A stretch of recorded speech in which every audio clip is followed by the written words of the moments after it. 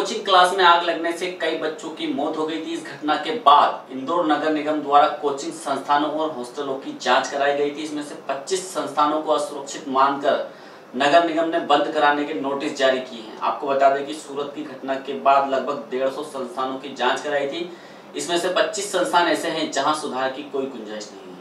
इस संबंध में नगर निगम उपायुक्त देवेंद्र सिंह ने जानकारी देते हुए बताया कि सूरत की घटना के बाद लगभग 150 कोचिंग क्लासेस की रिपोर्ट उन तक आई थी। इसमें से लगभग 25 ऐसे संस्थान हैं जहाँ पर सुधार की गुंजाइश नहीं है। इसलिए इन्हें बंद करने के नोटिस जारी किए गए हैं। आपको बता दें कि गत दिनों सूरत की घटना के बाद सुरक्षा के मद्देनजर इंदौर शहर में भी नगर निगम ने अलग अलग कोचिंग संस्थानों की जाँच करवाई थी। जाँच में पता चला है की कई कोचिंग संस्थानों के छोटे दरवाजे हैं तो कहीं एग्जिट की सही व्यवस्था नहीं है। इन सबके बाद इन लोगों को उप नोटिस जारी किए गए हैं। सर हॉस्टलों के मामले में जो जाँच हुई है रिपोर्ट आई है उसके आधार पर अभी क्या निगम कार्रवाई करने जा रहा है? नगर निगम पूरे शहर क्षेत्र में जो गुजरात की घटना हुई है उसके संदर्भ में जाँच करा रहा है। इसमें हमारे पास करीब डेढ़ सौ जाँच रिपोर्ट बी से आई है।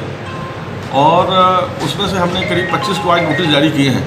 ये वो हैं जिनमें कोई सुधार की गुंजाइश नहीं है और कभी भी कोई दुर्घटना हो तो काफ़ी जनधन की हानि हो सकती है।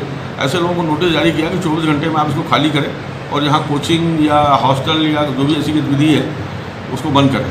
अगर उनने बंद कर दिया तो तो ठीक है नहीं बंद किया तो नगर निगम चौबीस घंटे बाद उसमें सख्त कार्रवाई करेगी और अन्य जो सुधार करने योग्य हैं सुधार वाले हमने अलग से छाटे हैं उनको सुधार के लिए नोटिस दिए दिए जा रहे हैं। उसमें सात दिन का उनको समय दिया जा रहा है कि सात दिन में आप उसमें सुधार करें क्या क्या सुधार करना है वो हम सूची बंद करें इस श्रेणी में कितनी कुल संख्या आई है? अभी संख्या में ऐसे नहीं बता सकता आप विभाग से ले जानकारी लेकिन अभी पच्चीस नोटिस जारी हुए हैं। ये पच्चीस वो हैं जिनमें कोई सुधार संभव नहीं